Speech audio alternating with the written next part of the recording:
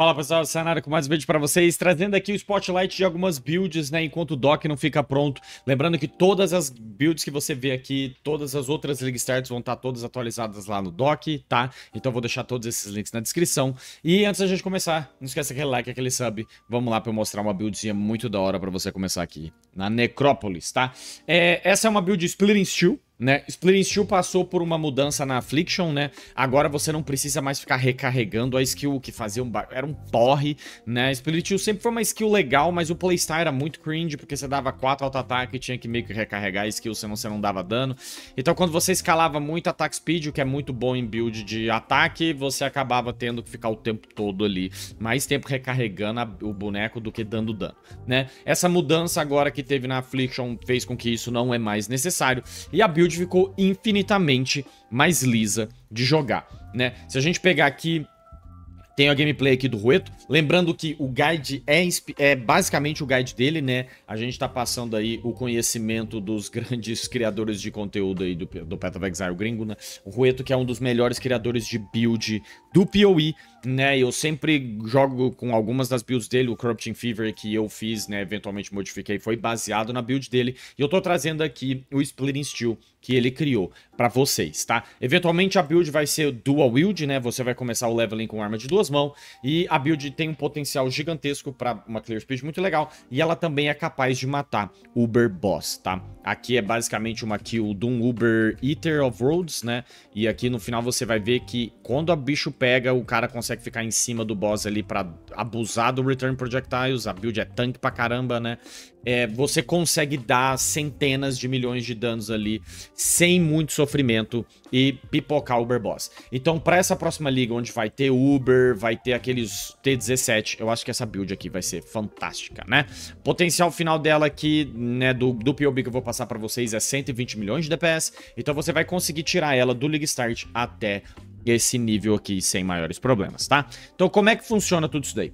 É, Aqui no POB vai ter todas as trees, todos os itens, todas as skills que você vai precisar usar durante todo o seu processo de leveling aí, sem problema algum. Como que funciona então o rolê? Você vai fazer o leveling com arma de duas mãos. No começo é legal usar Spectral Throw.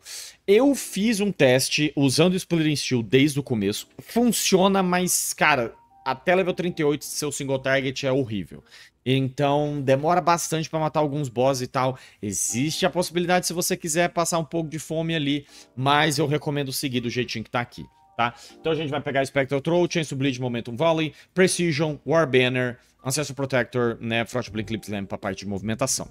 É, quando chega em level 38, é importante começar a prestar atenção em algumas coisas. A gente vai fazer um swap para Precise Technique, que vai aumentar o nosso dano se a nossa accuracy for maior que a nossa vida, tá? Isso é um bagulho que você tem que estar constantemente policiando ali. É por isso que a gente bota Precision na build.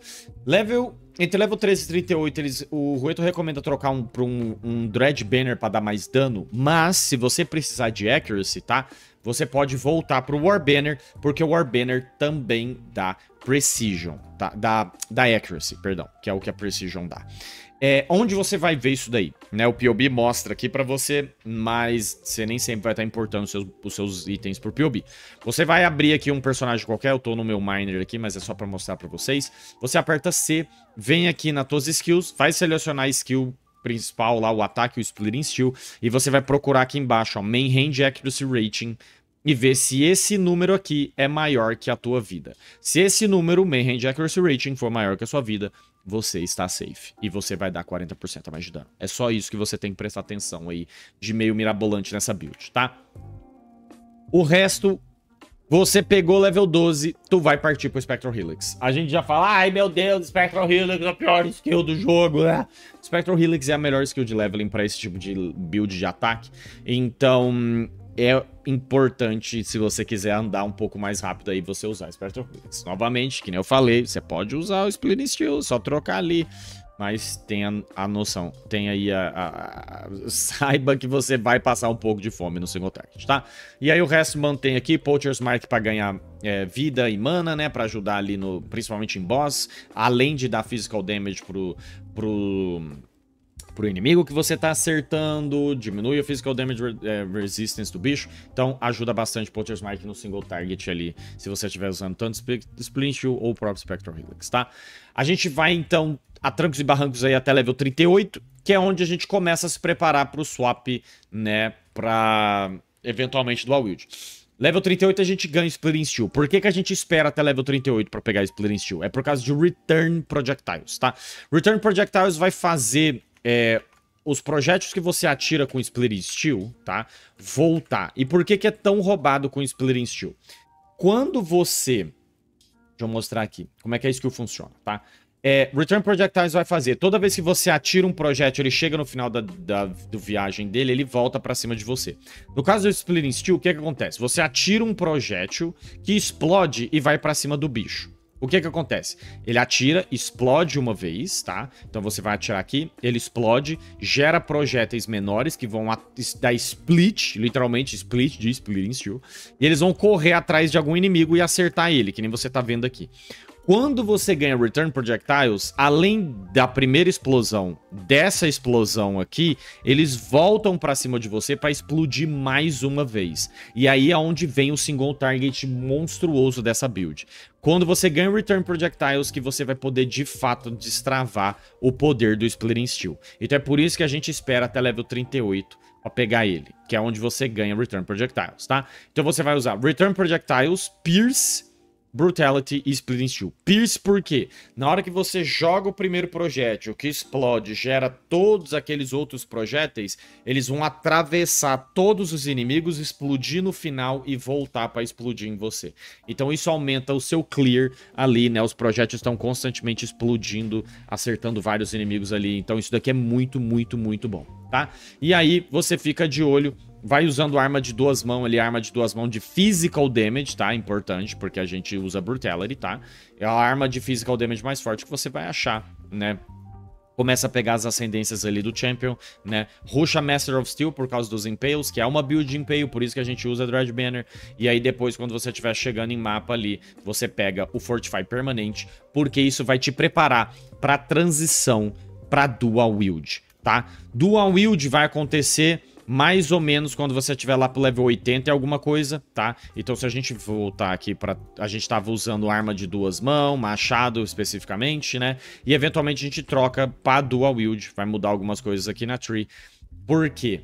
A gente vai usar dois itens fantásticos que vai melhorar muito o dano dessa build, que é Dream Feather e Beltimber Blade. Dream Feather ajuda bastante porque dá accuracy, aumenta o dano baseado na nossa evasion, a gente vai ter uma tonelada de evasion por causa de uma, algumas itens e firulas aí que a gente vai usar.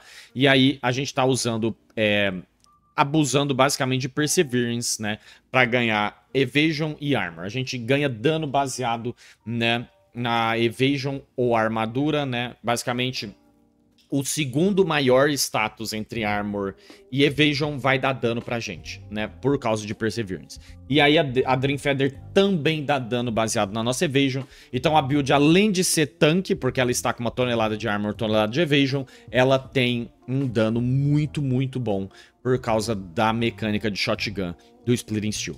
Então, quando tu fizer o swap ali, lá pro level 80 e pouco, você já vai estar tá batendo um milhão ali no single target, na hora que as, as blades todas voltam pra cima de você, né?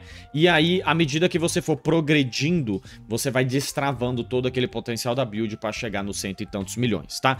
Quanto ao preço de fazer todo esse swap, não precisa se preocupar. A Dream Feather custa só 6 QOs, mais ou menos, no primeiro... Custou, no caso, né? 6 QOs no primeiro dia da da Affliction. Beltimber Blade tava cara, eu não lembro porquê, eu não acompanhei ali, mas você vê que ela despenca de preço rapidinho, né? Em alguns dias ali ela já tava valendo 5 QOs. Se você não tiver conseguir sniper uma baratinha no começo, a gente usa ela principalmente por causa de far shot, né?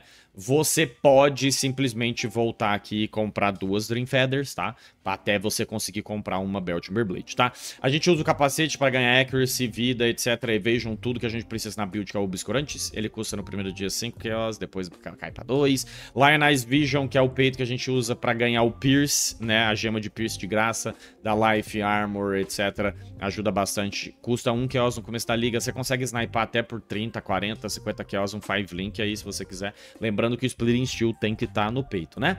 E aí, Perseverance, que é o belt que a gente vai usar, né? Ele custa 3 kills no começo, 1 kills depois. É um belt que meio que caiu na obscuridade aí, né? Então ele tá super barato. E por último, Brian Rottweilers, que é uma botinha muito legal que vai dar projectile damage, global physical damage. A gente dá physical damage e projectile damage, então é dar double dip ali. E você não pode tomar shock ground, que é sempre bom pra defesa ali. E tem uma move speed razoável, além de uma light and resist. Então é uma botinha muito, muito boa pra gente usar aí. Esses são os uniques, você vai ver que se a gente for somar tudo aqui, não vai passar de 30, 40, 50 QOs ali, né? Principalmente se você conseguir pegar uma Belt Blade baratinha, tá?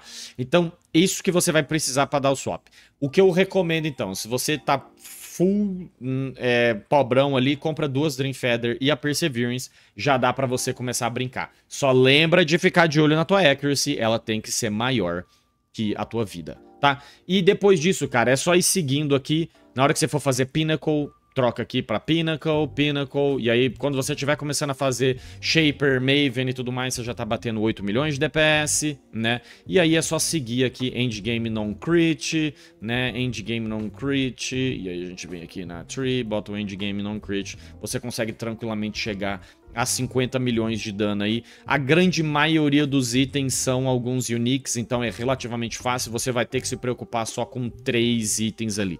Lembrando que a gente tem que até que atualizar algumas firulas aí, né?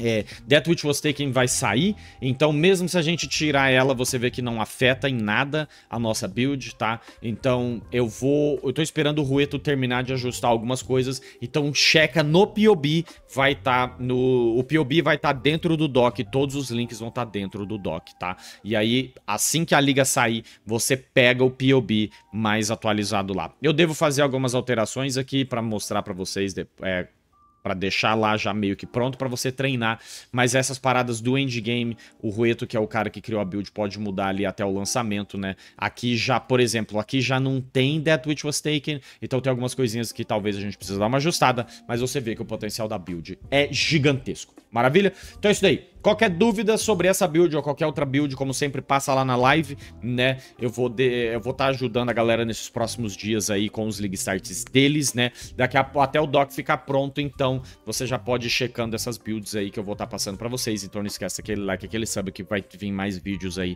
dando deep dive em algumas builds que eu acho mais interessante pra vocês começarem, beleza? Então é isso daí. Fiquei agradecer novamente então a presença de todos vocês. Eu vou ficando por aqui. Um grande abraço e até a próxima.